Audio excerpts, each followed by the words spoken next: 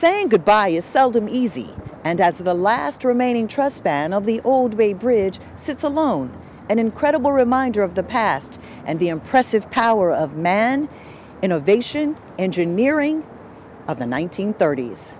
Since 1936, the Old Bay Bridge has been a mainstay of the Bay Area landscape. The 1989 Loma Prieta earthquake made it clear the Old Bay Bridge had served its useful lifespan.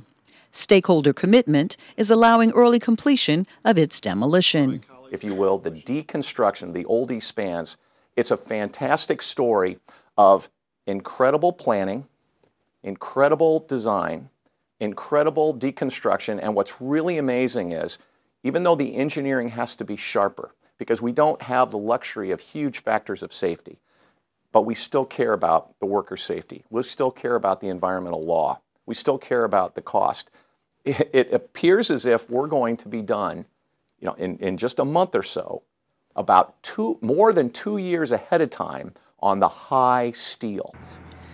19 trusses in all, over 100 million pounds of steel looming high above the bay, have been brought down with surgical precision.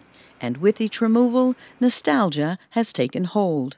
For some like Richard Heinemann, it has an even greater sentiment.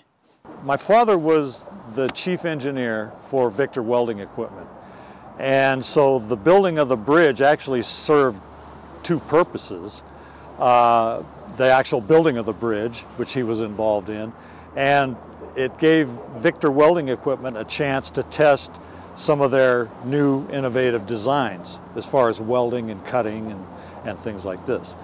As Richard and his wife Leanne reminisce on the legacy of his father, they know they are forever connected to a treasured part of Bay Area history.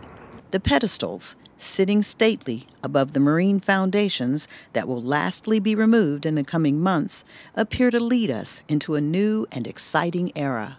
As we say goodbye to an old, cherished friend, we look forward to a bright and amazing future.